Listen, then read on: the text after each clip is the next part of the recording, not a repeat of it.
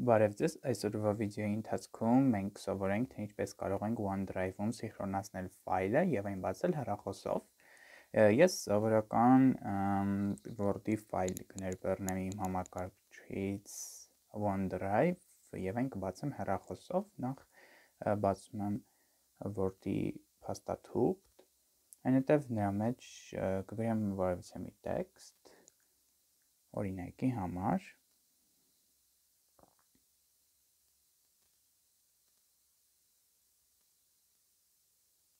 Ահա, ես այստեղ գրում եմ արդեն տեքստը, օրինակ փաստաթուղթ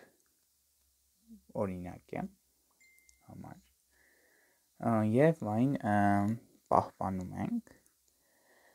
Պահպանելուց հետո նայում ենք արդեն ինքը պահպանված է այս փաստաթուղթը եւ այս ուղակի տեղադրում ենք OneDrive-ի ֆայլի մեջ։ Դրա մտնում ենք մեր My Computer, գտնում ենք մեր OneDrive ֆայլերը OneDrive-ի եւ այնտեղից արդեն գցում ենք OneDrive-ի մեջ։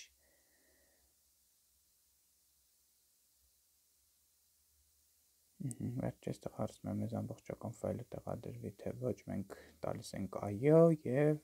վերջ այն արդեն տեղադրված է։ Հիմա ես այս ֆայլը կբացեմ հեռախոսով։ Հեռախոսով նույնպես մուտք կգործեմ OneDrive եւ կգտնեմ այս փաստաթուղթը Word-ի, որը որ տեղադրել էի։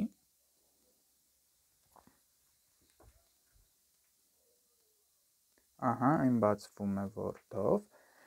online Word-ով, ես կտամ открыть Word-ով եւ արդեն Microsoft Word-ով կբացվի փաստաթուղթը, որի վրա կարող եմ կատարել փոփոխությունները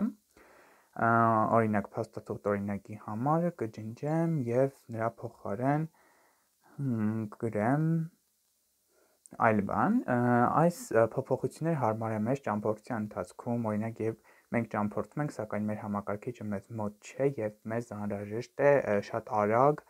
ինֆորմացիա փոփոխել կամ ինֆորմացիա ավելացնել մեր ֆայլի մեջ եւ այն ուղարկել։ Դրա համար ուղղակի հեռախոս կունենանք OneDrive-ում մեր ֆայլը եւ կանենք, ահա ես արդեն փոփոխված ֆայլը բացում եմ համակարգչով եւ տեսնում ենք, որ այստեղ կտեսնենք, որ այստեղ եւս փոփոխված է եւ ահա արդեն բացվում է փոփոխությունների համար։ Փոփոխված փաստաթուղթ օրինակի համար։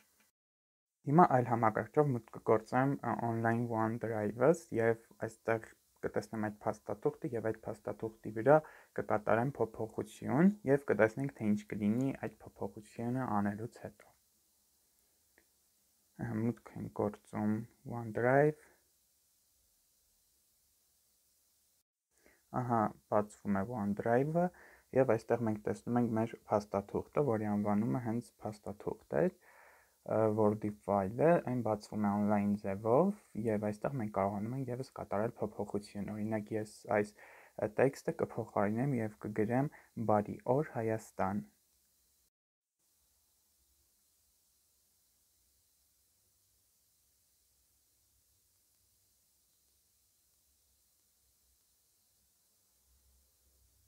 այնուհետև այս տեքստը կգունավորեմ կարմիր գույնով եւ սախրանից կտամ այս ֆայլը արդեն կատարած փոփոխություններով հանդերձ կարող ենք ուղղակի սեղմել Ctrl S եւ ինքը պահպանում եմ այնտեղ փակում եմ բացում եմ տեսնում եմ որ այո այն պահպանվել է եւ հիմա արդեն հեռախոսով նորից մուտք եմ գործում իմ OneDrive-ը